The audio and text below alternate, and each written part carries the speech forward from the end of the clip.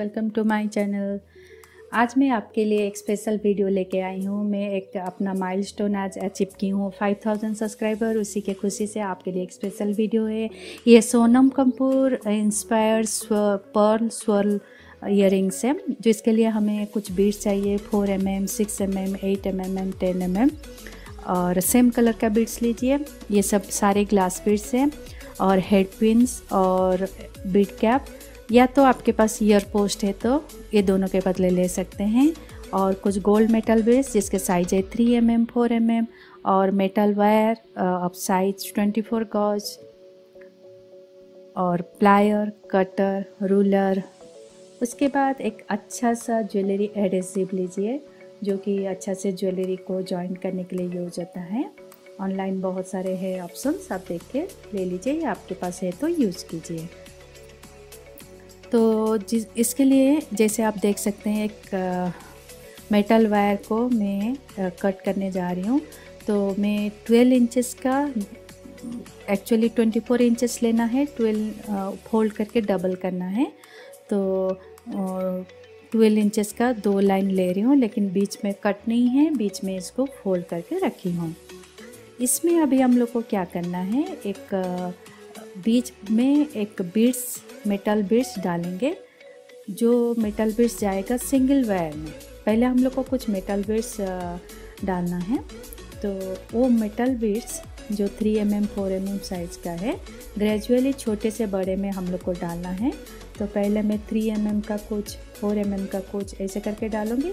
और कितना साइज़ का कित मतलब कौन सा साइज़ का कितना बीड्स यूज़ हुआ है, वो डिस्क्रिप्सन में है। बट ये डिपेंड्स करता है प्योरली आपके ऊपर, आप जितना चाहें यूज़ कर सकते हैं।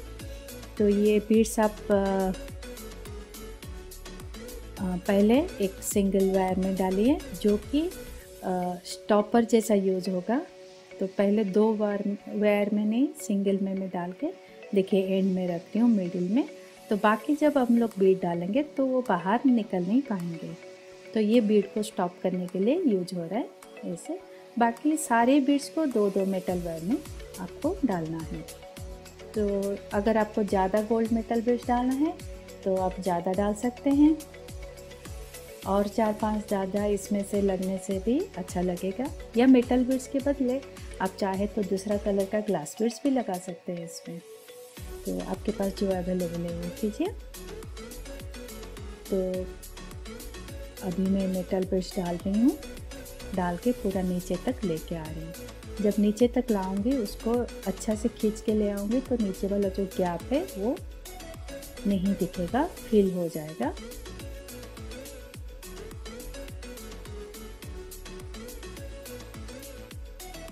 फ्रेंड्स, मैं आप सबका थैंक यू करना चाहती हूँ। आप सबके लिए आज मैं माइल स्टोन अचीव की हूँ। आप ऐसे ही मेरे वीडियो देखते रहिए लाइक करते रहिए। अच्छा लगे तो फ्रेंड्स और रिलेटिव्स और फैमिली के साथ शेयर भी कीजिए। अभी हम लोग को क्या करना है? ग्लास पीट्स डालना है। तो ग्लास पीट्स भी वैसे ही फोर एम mm से मैं स्टार्ट कर रही हूँ। अगर ये जैसे तो मतलब स्पाइरल शेप है। अगर आपको और एक राउंड घुमाना है तो और थोड़ा लंबा वायर ले लीजिए और थोड़ा बेस ले लीजिए।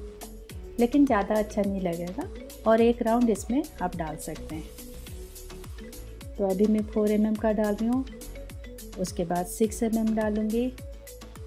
तो कितना बेस डालना है ये ये डिपेंड करता है आपके ऊपर।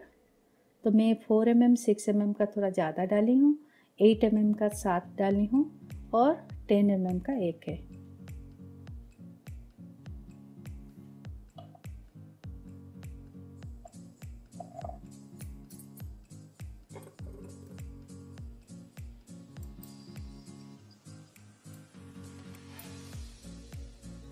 अभी क्या करना है?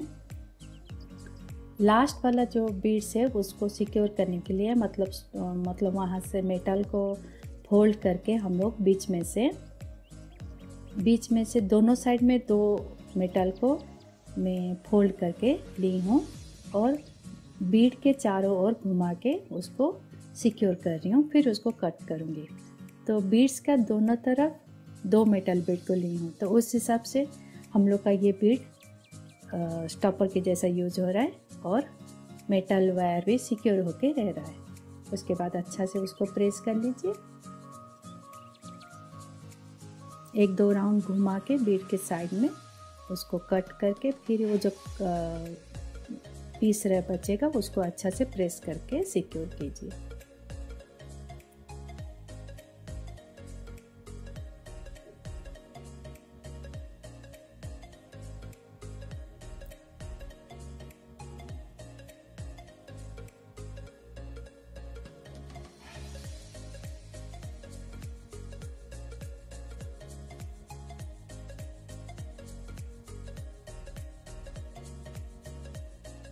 देखिए, अभी ये लाइन एक बन गया।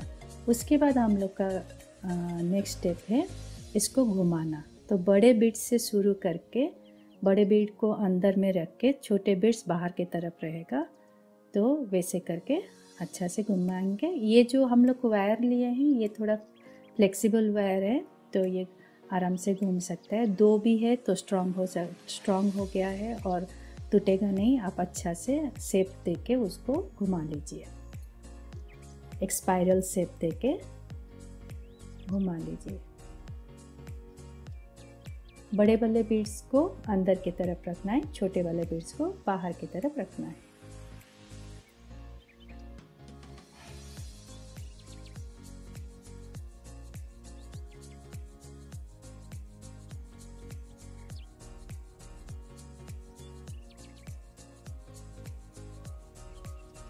देखिए, अभी इयर का हम लोग का सेप तो बन गया बट उसका ईयर पोस्ट नहीं है।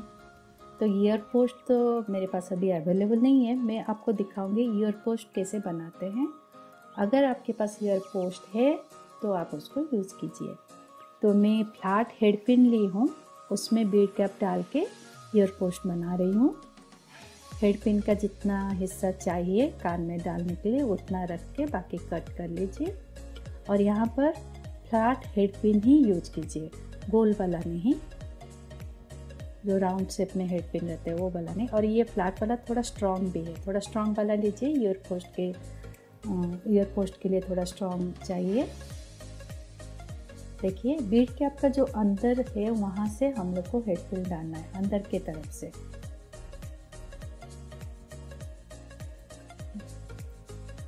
ऐसे डालना है। डालने के बाद कैप हम लोग को लगाना है। लेकिन कौन सा बीट पे लगाना है ये जैसे देखिए मैं थर्ड बीट में लगा रही हूँ। आप ईयरिंग का बीच में पकड़ लीजिए और सेंटर ऑफ़ मास जो होगा मतलब मतलब ईयरिंग्स का वेट इक्वली डिवाइड होना चाहिए दोनों साइड तो उस हिसाब से देखें थर्ड हो सकता है फोर्थ हो सकता है तो जो भी बीट में आपका लगता है कि ईयरिंग्स का वेट नहीं, एक तरफ़ नहीं होगा। तो आप ऐसे कीजिए, नहीं तो इयर एक तरफ़ झूल जाएगा मतलब झुक जाएगा। देखिए, मैं आपको अभी ईयर पोस्ट बनाना भी सिखा दी तो बीट कैप और हेड पिन से ईयर पोस्ट भी बना सकते हैं, या तो आपके पास ईयर पोस्ट है तो अच्छा सा एडेसिव ज्वेलरी वाला जो एडेसिव है, लेके आप लगा दीजिए। और उसको सूखने के लिए थोड़े थोड़े टाइम छोड़ दीजिए, तीन चार घंटा, या ज़्यादा भी छोड़ेंगे तो अच्छा है।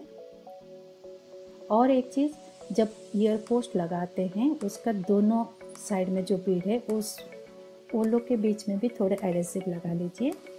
नहीं तो ईयर पोस्ट वाला बीड घूम जाता है, क्योंकि ये नॉर्मली बीडिंग हुआ है मेटल वेयर में घूमता है तो वो बीड को सिक्योर करने के लिए ईयर पोस्ट का दोनों साइड जो बीड है, उसमें हल्का सा एडेसिव लगा लीजिए। ज्वेलरी एडेसिव विजिबल नहीं रहता है क्लियर रहता है। तो देखिए, ये एरिया इयर तैयार है। तो ये पहन सकते हैं अभी हम लोग। Thank you friends for watching my video have a good day bye